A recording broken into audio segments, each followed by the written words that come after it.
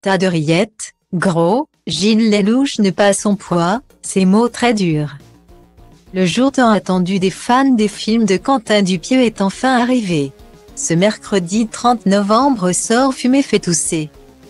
Sa comédie portée par Anaïs de Moustier, Ouleya Amora, Vincent Lacoste, Jean-Pascal Zadi et Gilles Lelouch.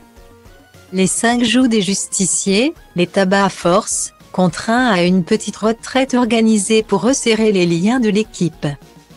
Si Adèle Exarche-Poulot, David Marseille et Grégoire Ludy, également au casting, avaient déjà collaboré avec Quentin Dupieux sur Mandibule, pour la majorité du reste de l'équipe, ce fut une première. Visiblement, humour, bonne humeur et taquinerie étaient les maîtres mots du tournage. Il faut dire que les costumes que portaient les acteurs avaient de quoi provoquer quelques fous rires. Pour habiller ses héros, Quentin Dupieux n'a rien trouvé de mieux que de les affubler de combinaisons moulantes bleues avec slip apparent façon Power Ranger. Une tenue qui n'a pas ravi tout le monde, bien au contraire.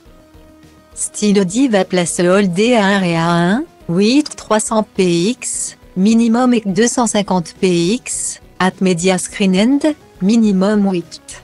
990 px, div. À place Holdé à 1 et à 1, 8 620 px, minimum et 350 px, style.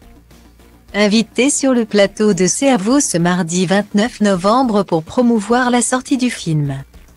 Anaïs de Moustier, Adèle Exarche-Poulot, Jean-Pascal Zadi et Gilles Lelouch ont évoqué.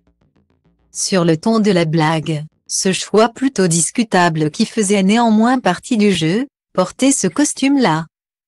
Ça ne me dérangeait pas, parce que je suis sacrément bien gaulée.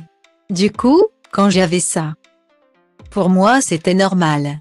Pour d'autres personnes qui avaient le costume, a lancé Jean-Pascal Zadi à Anne-Elisabeth Lemoine.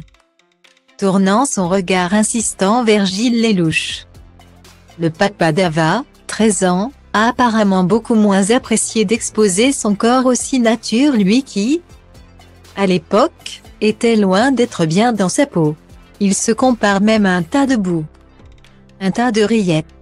Deux points je sortais du tournage d'Obélix et franchement, là je n'étais pas au maximum. Entre les deux tournages, 15 jours seulement se sont écoulés. Loin d'être suffisant pour perdre les quelques kilos pris pour interpréter Obélix, quand je vois le film franchement. Je rougis tellement je suis gros.